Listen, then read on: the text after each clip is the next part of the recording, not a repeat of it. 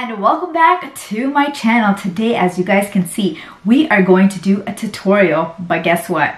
This time, we're gonna do it in Urdu again.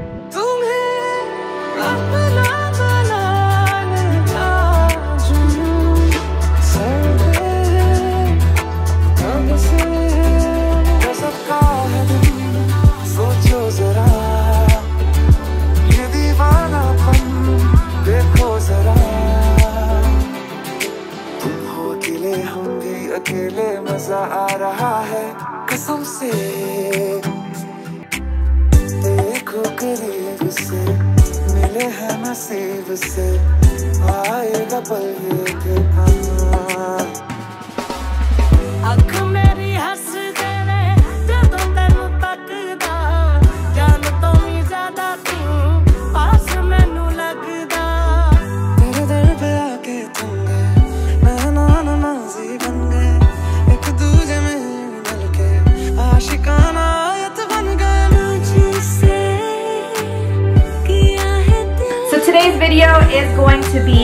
Simple, easy wedding, party, glammed makeup tutorial, but it's going to be in Urdu with a voiceover. But for those of you guys that don't speak Urdu, you can just see all the products over here and watch how I'm doing it because I'm going to be showing it in detail so you can always just follow along. But for those of you guys that speak Urdu, Hindi, Punjabi, or anything close to what I'm going to be speaking, this video is all for you. So yeah, but before we begin, just so you guys know, this beautiful outfit that you guys saw in the promo as well is from jamias.clothing. I'm gonna leave her link down below. She does amazing custom design dresses and she also sells high brand named dresses as well. So make sure you guys do check her out. She's on Instagram and she did my dress for today and it's so beautiful and I like it because I've never really worn a dress like this. So yeah. So I hope you guys go and check her out. Without further ado, we are going to start this video in Urdu in three,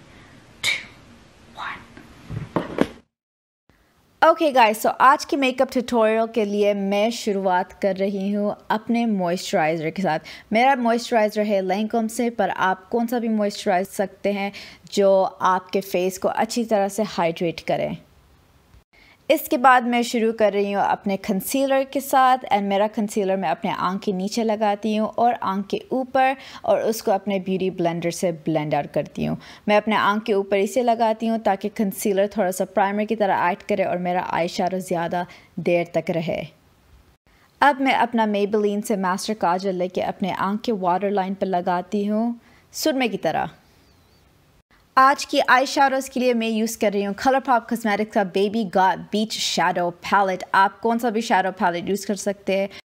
और मैं पहले एक light brown colour लेके अपने crease और पूरी lit पे blend करूँगी ताकि एक बेस की तरह हो जाए। अब मैं थोड़ा सा डार्कर मुआफ कलर लेके अपने क्रीज में ब्लेंड कर रही हूँ। ये मेरे मेरे आइज़ को बहुत अच्छी तरह से डिफ़ाइन करेगा और थोड़ा सा मेरे आई को अच्छा सा शेप देगा। याद रखिए कि आप जब भी ब्लेंड कर रहे हैं तो आप आउटर कॉर्नर से इनर कॉर्नर तक ब्लेंड करें। अब मैं एक पिंक कलर लेके अपने आईलेट पे लगा रही हूँ और ये बिल्कुल मेरे आईलेट के बीच में जाएगा और थोड़ा सा मैं उसको ब्लेंड आउट कर दूँगी। नेक्स्ट मैं एक शैम्पेन हाइलाइटर की तरह कलर लेके अपने इनर कॉर्नर्स में लगाऊँगी, अपनी उंगली के साथ और उसको ब्लेंड आउट कर दूँगी। अब मैं फ्लैट ब्रश के साथ फिर से वो मुआफ कलर को अपने आँख के नीचे लगा रही हूँ। शारों के बाद अब मैं अपना liquid glitter from Pixi beauty लेके अपने आँख के लैश लाइन पे लगा रही हूँ और फिर अपने फिंगर्स के साथ मैं उसको ब्लेंड अपवर्ड्स करूँगी ताकि थोड़ा सा ग्रेडियंट लुक आए ग्लिटर का। नाउ आईलाइनर के साथ मैं अपने आइज़ को एक थोड़ा सा कैट आई विंग लाइनर दे रही हूँ। अगर आपको कोई दूसरी तरीके का आई लाइनर पसंद है तो आप उस तरह का आई लाइनर लगाए, पर मुझे कैट आई बहुत पसंद है। और फिर मैं अब अपना लैंकॉम का मस्करा ले रही हूँ और वो अपने लैशेस पे लगा रही हूँ। अब आई फाउंडेशन की बारी और फाउंडेशन के लिए मैं अपना लैंकोम का T N T idol ultra wear foundation use कर रही हूँ। आप अपना कौन सा भी फाउंडेशन यूज़ कर सकते हैं। याद रखिए कि लैंकोम का फाउंडेशन वन शेड हमेशा डार्कर ड्राई होता है, जैसा कि बहुत सारे अदर फाउंडेशन करते हैं तो इसलिए मेरा फाउंडेशन थोड़ा सा लाइट लग रहा है, पर कॉन्टूरिंग एंड देन सेटिंग के बाद वो थोड़ा सा डार्कर हो जाएगा और मेरी कम्प्लेक्शन की तरह। हमेशा अपनी गर्दन पर भी फाउंडेशन लगाए ताकि अगर थोड़ा सा शेड ऊपर या नीचे हो जाए तो आपका सारा चेहरा और गर्दन एक कलर का लगे। अब मैं अपना सेटिंग पाउडर लेके अपने आँख के नीचे और जो जो एरियाज़ को मुझे सेट करना है, वहाँ पे पाउडर लगा के थोड़ी देर उधर छोड़ दूँगी और वो वहाँ पे सेट हुए तक मैं अपना कॉन्टूर करूँगी।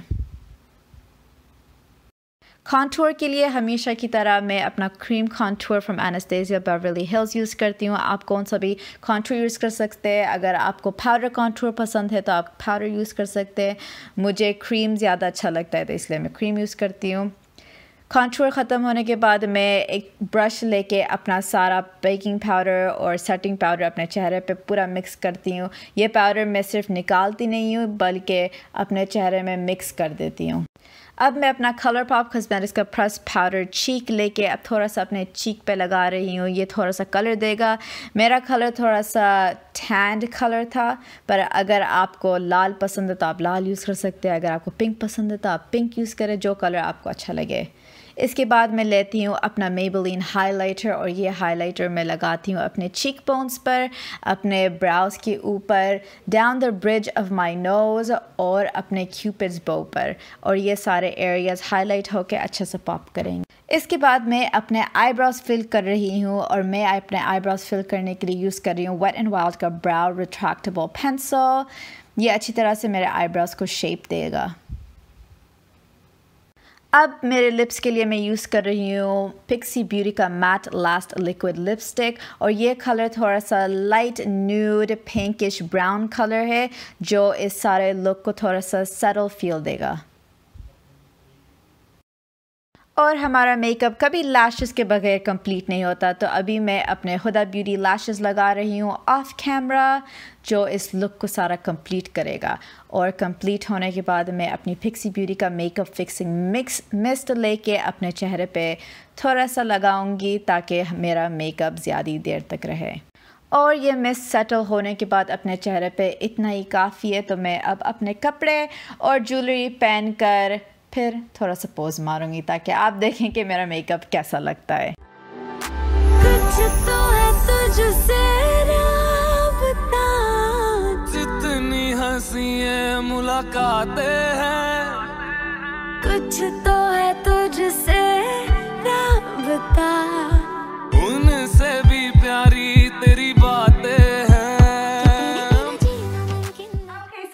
की वीडियो के लिए इतना ही काफ़ी है and I hope you guys like this video और अगर आपको ये वीडियो पसंद आई तो आप इस वीडियो को लाइक करें कमेंट करें शेयर करें अपने दोस्त या फैमिली के साथ एंड मैं आप सबसे मिलूँगी in the next video so until then, people, take care. Keep smiling and peace out.